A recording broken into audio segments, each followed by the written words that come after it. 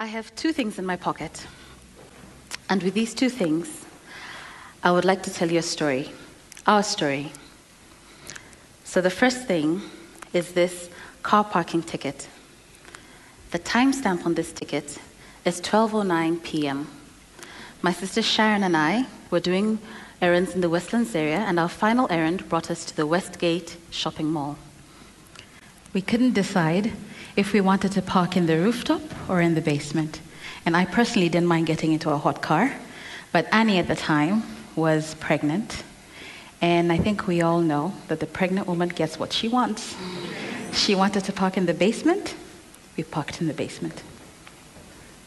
Plus, I was driving, so it was my call.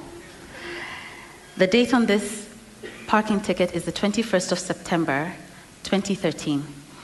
And it started out as the most ordinary of Saturdays hot sun, a lot of traffic, errands to do, just trying to finish up work so that we could carve out a small part of the weekend for ourselves. So Sharon and I go into the Nakumatt supermarket. And actually, initially, we were in separate areas of the supermarket shopping, and I couldn't find what I was looking for. So I wandered back to where Sharon was. And not a moment after we reconnected, mayhem broke out in Nakumatt. People were running in screaming. And I remember seeing this lady in a green dress running towards me, and she crashed into a shelf. Things fell all over the floor, and she started to pick herself up and continue running. And I grabbed her arm and asked her, What is going on? And she said to me, Don't you know that people are being killed outside? I just thought, What? people are being killed outside. So I turned to Sharon, who hadn't heard the response. And Sharon asked me, What does she say? And I said, She says that people are being killed outside. And so I look at Sharon and I say, Maybe we should run, let's escape. And she says, No, no, no, Annie, we are going to hide and we're going to figure out what is happening and then we'll know what to do from there. You see, if we had run out of the supermarket, it likely would have put us in the direction of the gunmen. So I grabbed Annie's hand and we ran to the back of the supermarket where the book section was. Now, try hiding in a supermarket. The shelves are very narrow. You can't hide on top because you'll be exposed.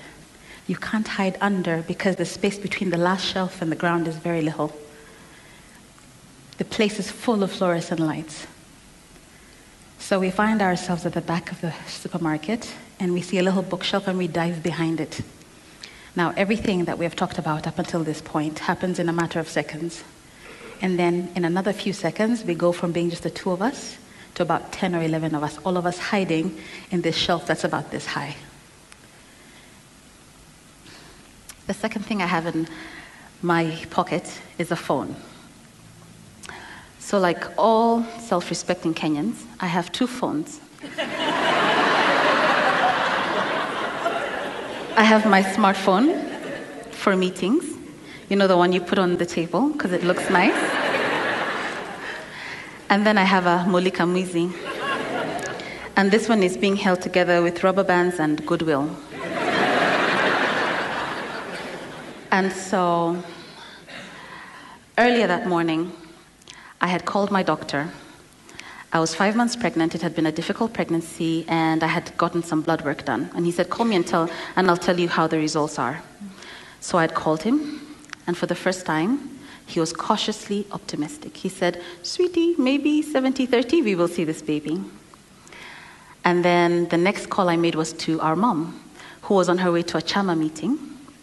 And we agreed that when we were done with what we were doing, and she was done with her meeting, we would have lunch together at 2 p.m. So, isn't it funny how we make and commit to plans? We're having a baby in March. I'll have lunch with you at 2 p.m. because we don't know that our lives can turn on a dime.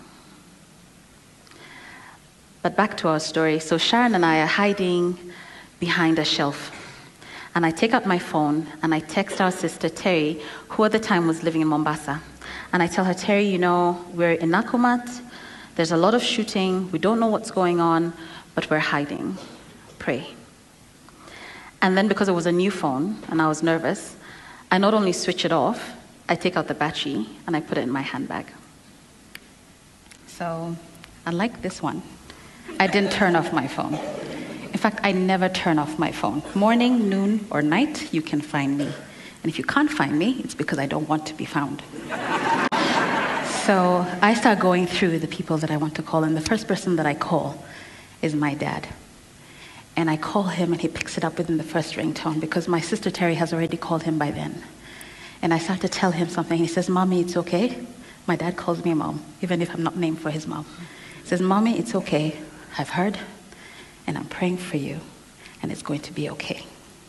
And then he starts to say something else, but the shooting begins, and he can hear it, and he knows that I can't talk. And so I just hang up the phone. So let me tell you about our dad. If he says he's praying for you. Hmm.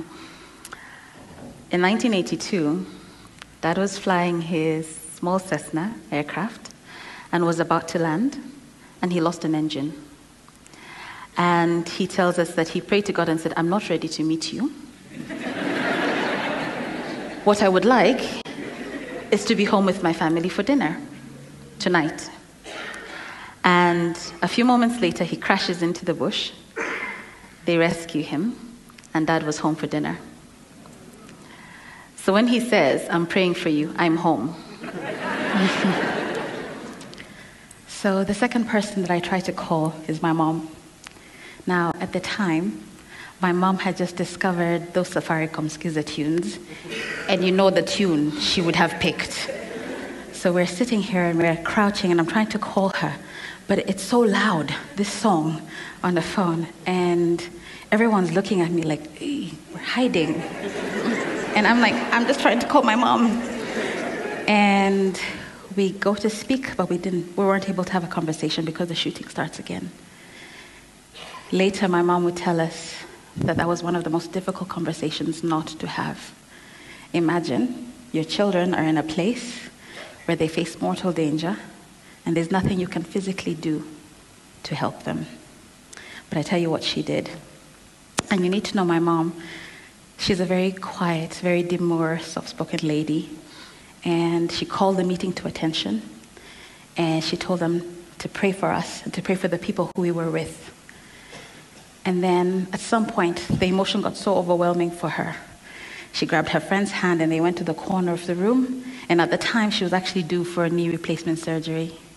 And she knelt on this cold floor and she faced the wall and she just prayed for us.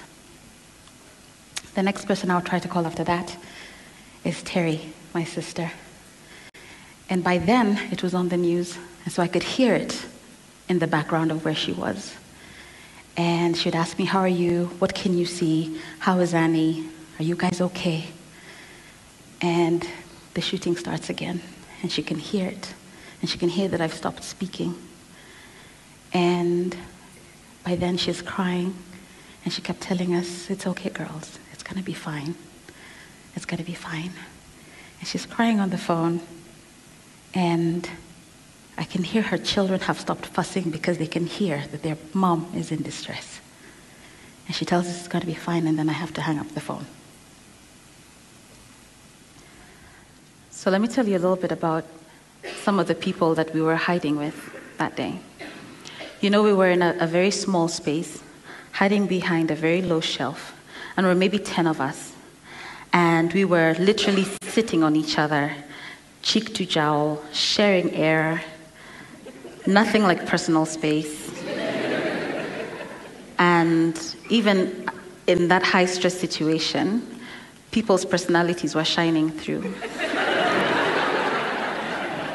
and so there was, there was this sweet Indian girl, and she was the first person who got photos of what was happening on her phone. Um, you know, the massacre had started at the rooftop, and someone had sent her pictures. And so she passed her phone around, and we're looking at these pictures. And the terror sets in because now we realize this is our situation. But afterwards, she puts her phone away, and she reached into the shelf behind her and she pulled out a children's book. I think it was Dr. Seuss, The Cat in the Hat. Mm. And she sat there and she just read it like she was in a cafe. And then there was an older Southeast Asian lady who was in front of me. And she kept on running out and looking and then coming back inside. And she reminded me so much of you've watched Meerkat Diaries, yeah? On Nat Geo. You know how the scout meerkat comes out of the hole and it looks if there's an eagle or a snake and then it goes back inside? She was exactly like that. And then there was an older gentleman with a East European accent and he was pissed off at everybody. He was barking at all of us and we didn't even know him. And, and then I was looking at Sharon from where I was, and I could see that she could hear our mom's voice in her head. Because you see, Sharon was wearing a very short dress on that day. And I think she could hear mommy saying, Mommy, that dress is so short. mommy, it's like a blouse. Are you going to wear trousers with that? Okay, at least stockings. And so Sharon was crouched in front of that mzee with a bad temper. And she kept pulling the back of her, of her dress. and maybe this is why he was so angry.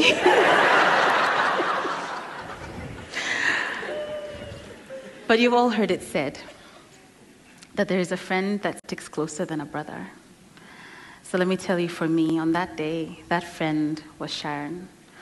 Because at some point, this situation was overwhelming. Gunfire for hours on end does your head in. It's so loud. And at some point, there were explosions in different parts of the, of the mall, and the ground was shaking. And the ceiling above us was shaking and crumbling. And Sharon somehow found a way to move over to where I was and to tuck me underneath her body. Thank you. um, tell them about the girl. Ah, and there was, sorry, one last person who deserves mention. There was this Kikuyu girl who, from the moment we got there, giggled right through. like she had a generator in her stomach. and her giggles were interspersed with, Oi, kai mwadhani. Jesu. vegetables. Yeah? Don't talk about vegetables. So after a few hours of this, Sharon says to me, Annie, do you know where the fresh vegetable section in the supermarket is? And I'm like, Vegetables? Are you hungry, Sharon? Are you going to fix us a salad? Do you see how people talk to you when you're the fat one, huh? Mm. Mm. I mean, if I was trying to eat all my emotions at that time, I'd be looking for tea bread, a chapati, mandazi, maybe even chavda. Not salad. but here's the other thing I can tell you. So I work as an interior designer. And a supermarket that's well designed, right in the center of it is where you keep the non perishable goods. On the periphery of the supermarket is where you keep the fresh vegetables. Usually there's access to a cold room and there's access to a store, and you know, you can find your way out. So that was my plan. But of course, it wasn't going to happen that easily. And we were there for such a long time. And it was so scary. And every time the shooting would start, I would start cursing. But I'm so glad that I had Annie there with me because every time it started to, sh- to when they started shooting, she would say a prayer or she'd say a psalm, and it kind of comforted us. You know, when we were younger, my parents always used to tell us, especially when you're having a hard time, they would say, Mommy, encourage yourself. So that used to really frustrate me because if I go to you for help, I'm wanting help. And being told encourage yourself is like, what's that? You know? But I realized, I guess, in retrospect, that every time that she said these words, it comforted us and it spoke to us, and it spoke to us in that situation. And I guess that's what they mean when they say encourage yourself. The psalmist David in Psalm 91 says, The Lord is my refuge. Surely he will hide you under his feathers, and under his wings you will find cover. You shall not be afraid of the terror that comes at night, or the arrow that flies by day, or the pestilence that stalks in the noontime, or the destruction that lays waste in the noonday. A thousand may fall at your side, and ten thousand by your right side, but it shall not come near to you. And you know, there was at least two times that I know that we could see one of the gunmen really clearly, peering between the shelves. And we could see him walking, stalking the aisles ahead of us. We could see his gun, we could see his bullet belt, his boots, his torso. And he couldn't see us and we were hiding in plain sight, not 20 feet away from him. Well, after several hours, the fighting moved out of the Nakumatt where we were, and it went to, we were on the ground floor, went to the other floors. And so, together with the other people who we were hiding with, we thought this is as good a time as any to try and make our escape. And so we prepared to escape. We were both in strappy sandals, so we took off our shoes, wiggled our toes, trying to get blood moving in our feet again. Mm. And, and that giggly Kikuyu girl, she stopped and took a selfie. yep, true story. You cannot make this up. and so we started to crouch and hide and run between shelves, all the while crouching, ducking, sometimes on our hands and knees. And there was a lot of blood on the floor. There was broken glass. There was flour. There was other people's shoes. There was spent cartridges. And there are no words to tell you how horrible those few minutes were. So, as we were heading out, we realized that we weren't the only ones who were trying to leave. It was there was a like a, there was a silent mass exodus out of the supermarket. I remember seeing a really tall gentleman with a tiny baby. I remember seeing two Indian ladies, and one was hurt, and she was helping her friend out.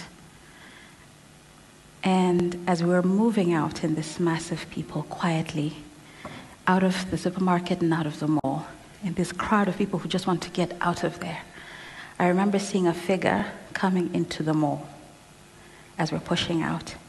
And as we got closer and closer to this person, I realized that I knew the face. And I grabbed Annie's hand and I'm like, Annie, that's dad. My dad was coming to the mall to look for us. And he had spent quite a bit of time trying to get in. By that time, the security forces had surrounded the mall, and no one was allowed in. And he was like, I need to go in there. And they would tell him, ah, mzee hapana. Hapa hawezi ingia. He say, yes, naelewa. Lakini wasichana wangu wako ndani. My girls are inside and I need to go and get them. And that's just, that's our dad. That's the man that our dad is. You know, he told us about a week later when my parents had a Thanksgiving dinner at home, that he was in his office watching the live coverage on the telly and knowing that his girls were there. And he said a prayer. He said, God, I need to go in and get my girls. And I know that you can do big things. Today, I just want you to do a small thing. Just make it easy. When I go there, just bring them to me. And that's what happened. By the time that we were leaving, our phones were off. He didn't know where we were. We didn't know he was coming. And we just found each other because he came for us armed with nothing other than a prayer. And that has the heart of a lion. You know, I think it's easy for us to paint a picture of our family like we are the perfect family, like those ones on the Blue Band commercials on TV. as if we, we sit around the table smiling at each other for no reason, as we hand each other slices of white bread. and for the most part, this is true. but then we're also like every family. We have our moments when we're not getting along. We had come, this was at the back of two years of attrition and long silences, and we weren't really getting along so well. And our mom, she was brokering peace deals all the time between us, you know, playing the devil's advocate, whoever the devil was on a particular day, um, because the devil has rotating membership. and if mom had not done this for us, if she hadn't kept us together, I don't know that we could have been pulling for each other the way that we did on that day when there was a crisis. You know, this is, it's actually not an easy story to tell because it's not lost on us that there were other people in that mall who, just like us, were going about their everyday and they never made it. There were others who survived the event but were left with physical injuries. There were other women who were pregnant at the time, just like Annie, who never got to, who never got a chance to enjoy their children the way I see Annie enjoying her children. So, I have two things in my heart. The first one is a souvenir that is given to people who have survived tragic or traumatic events. You see, most of you guys go into a supermarket, you park your car, you get in, you get out without a second thought. But the souvenir that is given to people who have survived a difficult event is that it changes your perception in life and it informs it in a different way. But the other thing that I have is this gift that I didn't even know that I had until we had to call on it. Our parents, in raising us in comfort, also built into us resilience. And it's something that I didn't realize that we had until we needed it. So I'm, I'm grateful for my Westgate experience mm. because as a psychotherapist, it has given me a knowledge of anxiety and fear that no book can give me. I am familiar with these emotions because I have lived in close quarters with them. And when someone comes to me, having lived through trauma, I am able to extend to them true empathy because I've been there. And I can tell them genuinely that you can find it in yourself. You can call deep on your courage and face life again. So, you remember I told you this phone has a special part in this story. Mm. About a week after the whole Westgate thing was over, the management called Sharon to go pick up the car. And this good old faithful Mulika was still on even though it had over 100 missed calls and so many messages from people, many whom we didn't even know, but whom our family had reached out to. And they sent us credit, they sent us texts of encouragement. And what it did for me was that it gave me a new purpose in that I want to be that person that you can call about your loved one who is in a situation, and whether or not I know them that I will be able to pray for them and ask heaven to do for them what it did for me.